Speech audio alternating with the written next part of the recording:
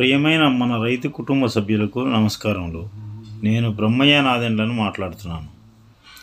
మన రైతు కుటుంబ సభ్యులందరికీ భోగి శుభాకాంక్షలు. ఈ సంక్రాంతి మీ జీవితంలో కొత్త వెలుగులు తీసుకొస్తుందని ఆశిస్తున్నాను. మీరు చూస్తున్న ఈ ఛానల్ సేంద్రియ వ్యవసాయంపై రైతు సోదరులకు అవగాహన కల్పించడం కొరకు నిర్వహించడం జరుగుతుంది. కావున సేంద్రియ వ్యవసాయంపై పూర్తి సమాచారం కొరకు ఈ ఛానల్ను సబ్స్క్రైబ్ చేసుకోండి. గంట సింబల్ను నొక్కండి. భూమికి సేంద్రియ ఎరువు ఎండిన ఆకులు ఎండుగడ్డితోటి ఎలా చేసుకోవాలి అనేది ఈరోజు చర్చిద్దాం.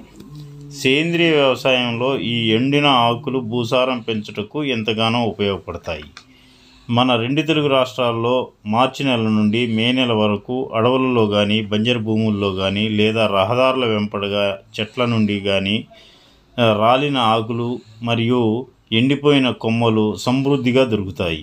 ఈ సమయంలో రైతులు కానీ రైతు కూలీల చేత కానీ ఈ ఆకులను సేకరించుకొని తమ వ్యవసాయ భూములలో కుప్పలుగా పేర్చుకున్న పేర్చుకోవలెను రైతులు సేకరించిన ఈ ఎండిన ఆకులను తమ వ్యవసాయ భూముల్లో మెరక ప్రాంతంలో ఒక కుప్పగా పోసుకోవలను. సహజంగా ఈ ఎండిన ఆకులు తేలికగా ఉండటం వలన కొద్దిపాటి గాలి వచ్చినా కుప్పగా పోసిన ఎండు ఆకులు గాలికి లేచిపోతాయి. అందువలన రైతులు పడిన శ్రమ అంతా వృధా అవుతుంది. అదేవిధంగా రైతులు తమ వ్యవసాయ భూమికి కావలసిన ఎండిన ఆకులను ఒకే రోజులో సేకరించటం కుదరదు. ప్రతిరోజు తమ తమ గ్రామంలో కానీ బంజరు భూముల్లో కానీ లేదా దగ్గరలో ఉన్న అడవుల్లో కానీ సేకరించుకోవాల్సి ఉంటుంది. కావున ప్రతిరోజు కొద్ది మొత్తంలోనే ఈ ఆకుల సేకరణ అనేది జరగటం జరుగుతుంది. ఇలా సేకరించిన ఆకులను భూమికి ఎరువుగా ఎలా మార్చుకోవాలో ఇప్పుడు తెలుసుకుందాం. ఎండిన ఆకులు సేకరించటం కొంచెం కష్టంతో కూడుకున్న పని. మరియు రైతుకు కావాల్సినంత దొరకటం కూడా కష్టమే. కావున మన రైతులకు ఒక ఎకరం భూమికి ఐదు వందల కేజీలు ఎండిన ఆకులు సేకరించుకోమని చెప్పటం జరుగుతుంది. సేకరించిన ఎండిన ఆకులతో ఎరువుగా మార్చుకోవటం కోసం కావలసిన వస్తువులు. ఎండిన ఆకులు ఐదు వందల కేజీలు భూమిపై పొరలో మట్టి యా నూట యాభై కేజీలు తగినంత నీరు టార్పోలిన్ పట్ట లేదా తగినంత తగరం కాగితం ముళ్ళ కంచె. ఎరువు తయారు చేసే విధానం. మొదట పది అడుగులు పొడవు ఆరు అడుగులు వెడల్పు మూడు నుంచి నాలుగు అంగుళాల లోతు గుంట తీసుకోవాలి. అందులో సుమారుగా వంద కేజీల ఆకులను పరచాలి. పరిచిన ఆకులపై భూమి పైపర్ నుండి తీసిన మట్టి ముప్పై కేజీలు పల్చగా మొత్తం విస్తీర్ణంలో పడేటట్లు చల్లుకోవాలి. చల్లిన మట్టపై చల్లిన మట్టిపై తగు మోతాదులో నీటిని చిలకరించాలి. ఈ విధంగా నాలుగు నుంచి ఐదు పొరలుగా ఎండిన ఆకులను కుప్పను ఏర్పాటు చేసుకోవాలి.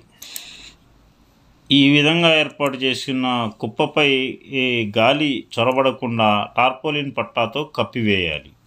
వేసవకాలంలో పశుపక్షాదుల సంచారం వ్యవసాయ భూముల్లో ఎక్కువగా ఉంటుంది. అందువలన ఈ కుప్పను పశువులు ఓ, చెదరకొట్టకుండా చుట్టూ ముళ్ళ కంచె లేదా ముళ్ళ తీగతో ఫెన్సింగ్ వేసుకోవాలి. ఈ విధంగా చేసిన కుప్పను నాలుగు నుండి ఐదు రోజులకు టార్పోలిన్ పట్టా తీసి కుప్పలో తగినంత నీరు ఉందో లేదో తేమ శాతం చూసుకొని మళ్ళా అవసరమైనప్పుడు నీరు పోయాలి. పోసిన తర్వాత పట్టాను యథావిధిగా కప్పుకోవాలి. పది రోజులకు కుప్ప వేసిన పది రోజుల తర్వాత సాయంత్రం వేళల్లో టార్పోలిన్ పట్టా తీసి కుప్పను తిరగదిప్పాలి తిరగదిప్పి ఒక రెండు గంటలు ఆరి ఆరిన తర్వాత మళ్ళా యథాస్థితిలో కుప్పను వేసి టార్ తగినంత అవసరమైనప్పుడు ఆ, తేమ చాలనట్లుంటే నీరు పోసి మళ్ళా టార్పోలిన్ పట్టాతోటి కప్పుకోవాలి. ఈ విధంగా ప్రతి పది రోజులకు ఒకసారి కుప్పను తిరగదిప్పి టార్పోలిన్ పట్టాతో కప్పుకుంటా ఉంటే ముప్పై నుంచి ముప్పై ఐదు రోజులకి కుప్ప అంతా తరిగిపోయి మెత్తటి ఎరువు అనేది తయారవటం జరుగుతుంది. ఈ ఎరువును ఈ విధంగా తయారైన ఎరువును సంచులలో నింపుకొని నీడ ప్రదేశంలో నిల్వ చేసుకొని తొలకరి వర్షాలు పడిన తర్వాత భూమిపై చల్లి దున్నుకోవాలి. వ్యవసాయ భూమిలో చల్లి దున్నుకోవాలి.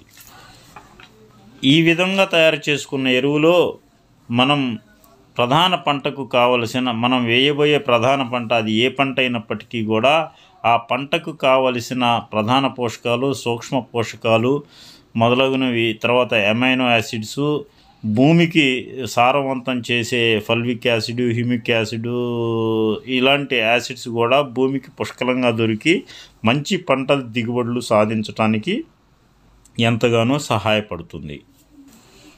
ఈ సమాచారం తెలుసుకున్న రైతులు మేము చెప్పిన విధంగా తయారు చేసుకొని లబ్ధి పొందవలసిందిగా కోరుచున్నాము. ఈ విషయం ఈ ఈ మేము చేసే వీడియోలు మీకు నచ్చినైతే నచ్చినట్లయితే ఇతరులకు షేర్ చేసి ఈ విషయ సమాచారాన్ని ప్రచారంలోకి తీసుకురావాల్సిందిగా కోరుచున్నాను. ధన్యవాదములు. రేపటి వీడియోలో సేంద్రియ వ్యవసాయానికి సంబంధించిన మరొక సేంద్రియ ఎరువు గురించి చర్చించుకుందాం.